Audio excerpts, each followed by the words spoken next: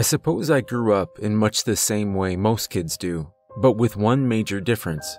We'll get to that a little later. I was an only child raised by a single mom, never really knew who my father was. Mom didn't really talk about it, and I felt weird asking too many questions. She always did the best she could for me, and for the most part, I had it pretty good. She'd see me off to school every morning before heading into work, and after school, I'd spend time at my best friend's house down the street until she came and got me. My best friend's name was Ryan, and together we went on all sorts of adventures. Our parents said we had the most overactive imaginations they'd ever seen and often scoffed at all our crazy stories. We spent most of the time playing out in the woods at our secret tree fort we'd built some years ago. It was our haven, our home away from home. It was a Friday after school that Friday came up with the greatest idea I'd ever heard. He wanted to camp out at our fort overnight. We lived in a small town where nothing bad ever really happened. It was one of those places where everyone knew each other. People looked out for one another back then, and half the time no one even bothered locking their doors. We ran the idea by our parents, and to our profound excitement, got the green light. We spent the next hour or so grabbing everything we'd need to stay the night at our fort, which included a decent haul of snacks we pilfered from our collective kitchens. It turned out to be a beautiful night.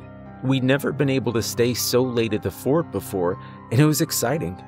We started it all off with the customary ghost stories told by flashlight, and once we got ourselves all good and worked up, we decided it was time to do some exploring. It was the moment we'd been most looking forward to. The woods were more alive at night somehow, as if powered by some magical force that our minds had conjured up. We left the safety of our fort and slipped into the growing darkness between the trees. Every sound had us on edge, our flashlights dancing around us, like an epilepsy inducing light show. That didn't stop us, though and we continued until we hit some unfamiliar territory. We'd never gone this far before during the day and weren't sure what to expect. We stopped when we came across a small ramshackle of a cottage just sitting there amidst the overgrowth. We did what every curious kid would do in that situation find a way to get inside. It was easy enough with no lock to speak of. The door creaked and moaned as we forced it open. Our flashlights swept from left to right, illuminating the meager furnishings within. It was just one giant room with a bed against a far wall and a rocking chair with a small table and an oil burning lamp in the middle. There was even an old wood burning stove in the far left corner that looked in decent working shape. The entire shack seemed eerily clean for a place that looked so abandoned from the outside. I suddenly felt very nervous and glanced over at Ryan for some support. Who do you think lives here? I asked with some trepidation. I wasn't sure I really wanted to know the answer. He cast a side glance at me, and I saw the same anxiety stretch over his darkened features. He forced a reply, though, trying to be brave. I can't imagine anyone could be living out here. It's probably just one of those little hunting shacks. I nodded and convinced myself he had to be right. When you're a kid, it's so easy to dismiss danger sometimes, even when you shouldn't. We decided to claim the place for ourselves after a little more conversation. We thought it would be a much better place to stay the night, and it wasn't that much further out than our fort was. It wasn't as if our parents were going to know the difference anyway. The worst thing that could happen would be some hunter showing up and shooing us away. No harm, no foul. Our excitement grew by leaps and bounds as we made the round trip to get our stuff from the fort and head back to the shack. Our exploration had provided us with the ultimate find, and we were starting to get a little tired. We stretched our sleeping bags out on the big bed. It seemed so comfortable. We had our snacks and told a few more stories before eventually falling asleep. It had to have been the middle of the night when some strange noise woke me up. It sounded like someone was clearing their throat, so the first thing I did was look over at Ryan. Finding him asleep, I turned on my flashlight and shined it around the room. I heard that throat clearing noise again, but this time it was followed by a voice much closer than I expected. Its tones were strangely soothing as it spoke. Hey, kid. Down here. In that moment, I did the dumbest thing I've ever done in my entire life. I looked down. Laying there on the floor, half under the bed, was the most terrifying sight I'd ever seen. From what I could see of it, the thing that spoke was about a quarter of my size. It had long, spindly fingers that idly rubbed against the edge of the bed. Its mottled gray skin sort of hung from a thin, lanky frame. Enormous razor edged teeth filled its sickeningly sweet smile. Its eyes were a strange pale yellow color, and it smelled of dirty lake water and rotten eggs. Before I could even do so much as scream, it held one of those impossibly long fingers to its mouth to shush me. And for some reason, I can't even explain, I obliged. We sat there in silence, just staring at each other for what felt like an eternity. Eventually, it broke the silence.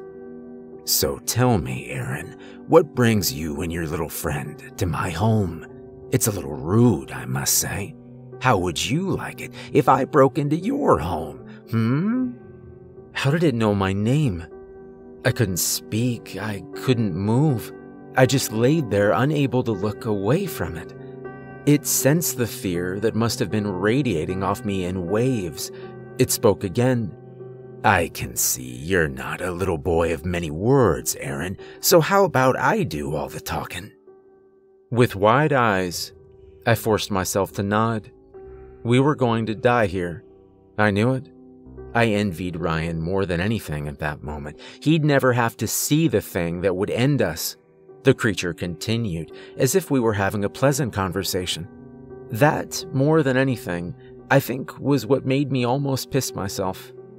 Good, good. So here's what's gonna happen, Aaron. You're gonna let your little friend Ryan sleep. Don't bother waking him up, it won't make a difference. As long as you stay right where you are, you have nothing to fear from me.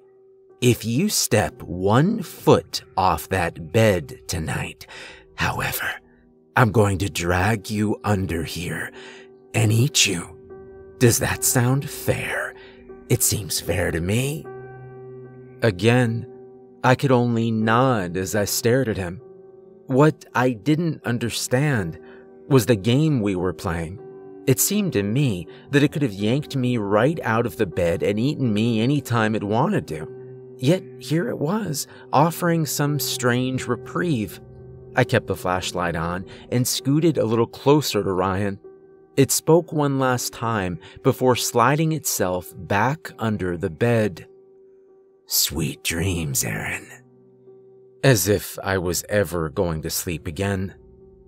I lay there like that all night, staring at that spot on the floor where the monster had been. Sometime later, light began to creep its way in through the cracks in the shack, and Ryan finally woke up. I really didn't feel like talking about what happened until we were at least back home. Ryan was still excited and droning out about the shack and what a great night he had. I didn't want to ruin it for him, so I just nodded and agreed at the appropriate times. Even though I knew he was my best friend and that he would surely believe me, I was having trouble believing myself. Maybe it had just been a horrible nightmare. It was more than possible, and I just decided to chalk it up to that. It was a weird night in a strange place, bad dreams happened, and even safe environments.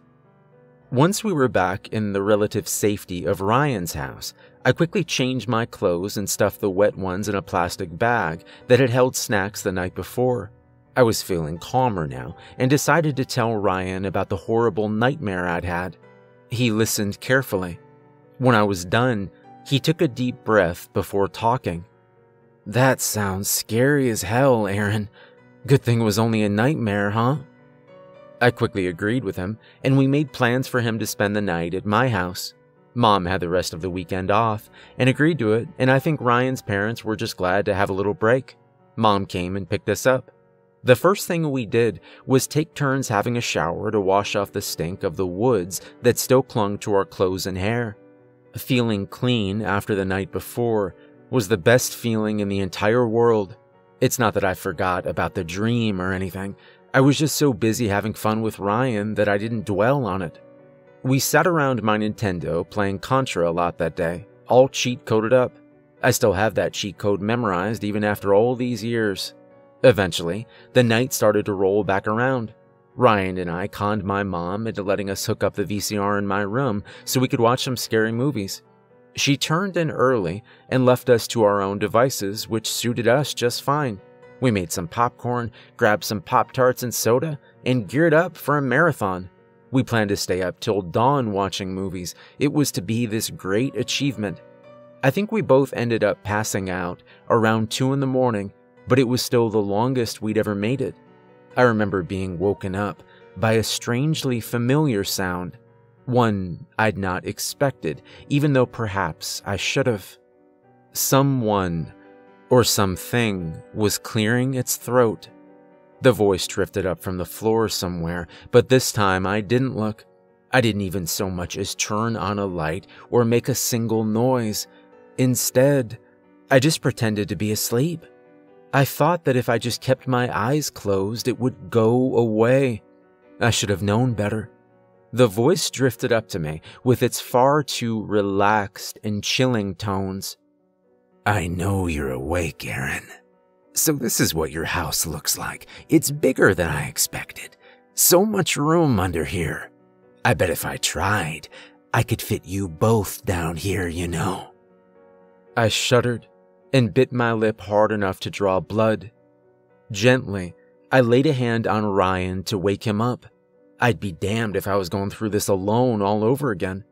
His eyes drifted open lazily, and I put a finger to my lips and pointed to the floor. His eyes got wide, and he nodded ever so slightly. This, however, was not lost on the monster under my bed. It spoke once again. Ah, Ryan, welcome to the party. Let me fill you in on the rules. You leave the bed, I eat you.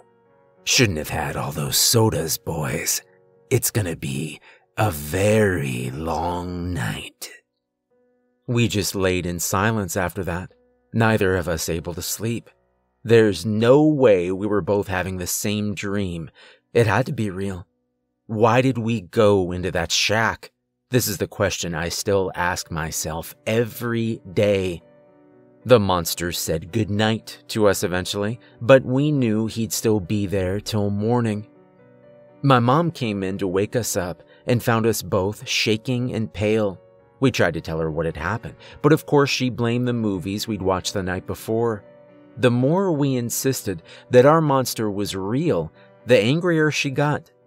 Eventually, it led to scary things being banned in the house for a while. That was fine with me, though. I'd had my fill at that point. Since we had school the next day, and Ryan hadn't finished his homework yet, Mom and I took him home.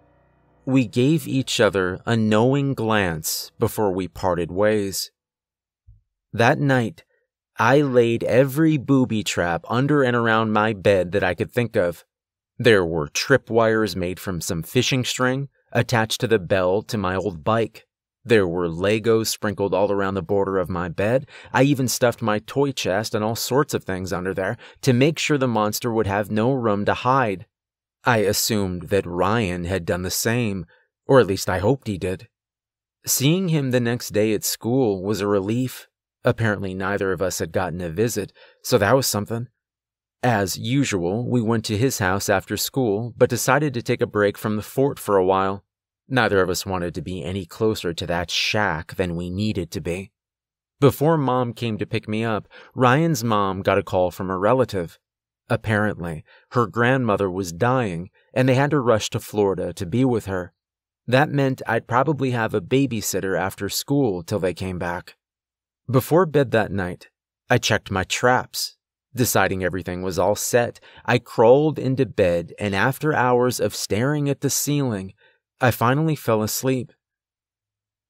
That night, I woke up to the sound of that old bike bell going off and something moving under the bed. Shortly after, I heard the voice.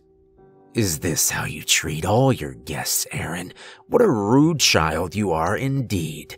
How about we call a truce? Perhaps you and I just got off on the wrong foot after all. I sure could use some company, you know, Aaron. It gets lonely living under people's beds. I couldn't believe what I was hearing. I'd seen that movie Little Monsters, and even though I'd secretly wished for my very own Maurice, the reality of it was far too frightening. This time, however, I decided to speak to it. So, why do you hide under people's beds? The creature chuckled gently. It's sort of my job. I am a monster, you must realize. Would you like to play a new game, Aaron? What sort of game? I replied. He was quick to answer. Any game you want, of course. I see you have electronic battleship under here. I stopped to really consider what was going on. Was it possible that this was a friendly monster? Up until a few days ago, I hadn't really thought monsters existed at all. Something about this seemed too good to be true. Its voice was so soothing, and if not for its appearance, I might have left that bed. Oh, so no game then? I shook my head a bit and looked into his fiendish eyes. He responded soon after. A pity, but I understand. We barely know each other. In fact, you don't even know my name, silly me. You, my boy, may call me Mr. Jones. We kept up the conversation most of the night. We talked about comics, movies, food, pretty much all the stuff that kids my age were interested in. This happened every night that Ryan was gone, which was pretty much for the rest of the week. Every night, the monster would ask to play a game and try to get me off the bed, and every night I'd decline, and we'd talk instead. On the last night, however, things got stranger, if that were even possible. I'd cleared a space for it and sat patiently awaiting his return. As always, that sound of a clearing throat signaled me to its arrival. Good to see you, Aaron, it said. Evening, Mr. Jones. Did you have a good day? Mr. Jones shook its head. No, Aaron, I did not. I'm very hungry, you see. I haven't eaten in a week. Come play a game with me, why don't you? Help me get my mind off the hunger. This time, when I refused, it got angry. Enough of this bullshit, you little brat. One way or another, I'm gonna eat you and your friend. I'm gonna pick the flesh from your tiny little bones, then suck out the marrow. I'm gonna start with your eyes, though. That's the most delicious part. There'll be nothing left of you, Aaron. Nothing left at all. The bedspread and sheet began to move as if it were tugging them. Eventually, it had slid off under the floor and disappeared underneath the bed. Then all of a sudden, everything just stopped. For a moment, I could swear I heard someone crying and screaming. It sounded so eerily familiar to me somehow. I laid there awake for hours longer, with nothing to show for it before eventually falling asleep, huddled in the centermost part of my bed. The light slipped in through the window in my room, but it was the crying and loud voices I heard coming from the living room that woke me up. I crept out of bed and cupped my ear against the door to try and hear what was going on. With everything I'd been dealing with, I wasn't prepared for what I heard. Ryan and his family had come back late the night before, but when they woke up in the morning, he was nowhere to be found. The only trace of him had been a streak of blood that stretched across his floor and disappeared beneath his bed. It was at that moment that I knew the voice I'd heard had been his. A lot of people were organized to search the neighborhood and surrounding woods. I knew exactly what had happened to him. I even tried to tell people, but of course no one would believe me. I told them about the shack, though, but no one wanted to listen to the hysterical child. Ryan was never found. His family moved away. A few months later, I assumed to escape the constant reminder of their son's disappearance. I, myself, moved on with my life as best as I could. I grew up and left town as soon as possible. I never really settled down and had kids, preferring to be alone more than anything. The older I got, the harder it was to make connections with people. I barely even have any friends, save for perhaps the people I work with. As I sit here writing this, I can't help but miss my best friend. Even after all these years, the memories of it all still seem so fresh. I know that any time now, I'll hear what I've been waiting for. Tonight will be different, though. I can't keep going on like this. Tonight, it ends one way or another. I can hear Mr. Jones now moving under the bed. I hear him clearing his throat and begging me to come out. I can hear the sounds of Ryan screaming and begging to be let free. I can see those long, spindly fingers rising over the side of the bed to pull on the bedspread and sheets. I can see his yellow eyes creeping up to get one last good look at me.